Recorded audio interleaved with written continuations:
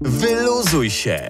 Nowy Green Out Fresh Bump już w sprzedaży. Tylko na dutchtherapy.pl Krzysztofie, jak część już opinii środowiska o, y, od razu usłyszeliśmy po książce, a chciałem zapytać o takich, o których może nie słyszeliśmy, czy ktoś zadzwonił, y, kto jest też jednym z bohaterów tej książki, Tak, czy masz tak, jakieś takie miłe... oczywiście. Widzisz, to jest taka relacja, że uruchamia pewne e, kontakty. No i, i dostałem telefon od Boriksona.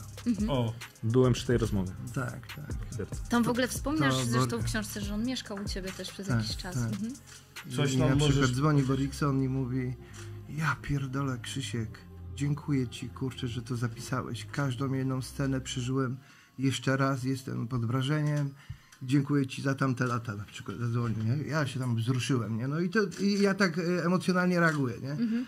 Bo na przykład zadzwonił Borikson, nie? Widzę też teraz łzy w oczach y, dla wszystkich, którzy nas y, oglądają. Widać też teraz, że tu budzi emocje w tobie nadal, cały czas. No, no, no budzi, wiesz, no miałem różne tam jeszcze, na przykład, e, zaraz, zaraz, czekaj, czekaj. W Pęku coś tam mruczał, że ta jedna scena e, jest taka, żeśmy go wrzucili pod, pod prysznic, nie? No przecież raz go wrzuciliśmy, to już potem, wiesz, no po prostu spał za długo w tych Pę- samych ciuchach, wzięliśmy go i chyba- wyrzuciliśmy, no bo lubimy świeże powietrze, fresh. Albo mamy przeczulony ten fresh. Ale wie, I, i o to się tam wkurwił, nie? wiecie co, z, Pękiem taka historia była, że moim zdaniem ktoś mu dał do przeczytania fragmenty, bo, e, bo on napisał e, też, może nie taką bezpośrednią do mnie pretensję, ale napisał mi przez Messengera, że e, że, że w książce Krzysztof Kozak napisał, że, e, Tedy odszedł z RLX przez to, że jego wrzucali pod prysznic, czy on niezbyt ładnie pachniał, a w książce jest w ogóle nie ma takiego nawiązania, a po drugie jest dokładnie opisane, dlaczego, jak to się stało, że Krzyśka z TD No, drogi się no. rozeszły. Rozumiesz o co chodzi?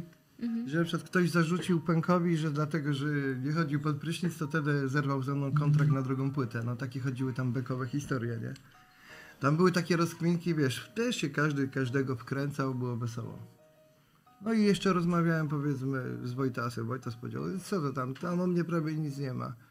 Tylko tyle, że, tam, że miałem teksty jak z gazety Fakt, coś tam, nie? Bo tak napisałem w tej książce, nie? Tak, i że lubił że, jeść że jakby jak absolutnie jakoś to nie było złośliwe, no ale dostał książkę, przeczytał i tak mówił, że właściwie to jest twoja historia Tedego i Tomka i Nie, to jest tak no. naprawdę, to, to jest tylko historia o was, powiedział Wojtas, nie? że to jest historia moja, Tomka i Jacka, że to był taki, wiesz, taki no, no taka jazda niesamowita, umysłowa, że tam jakieś pomysły i cały czas ich, a i po prostu no, to właśnie w takim zestawie. Rap News. Rap News.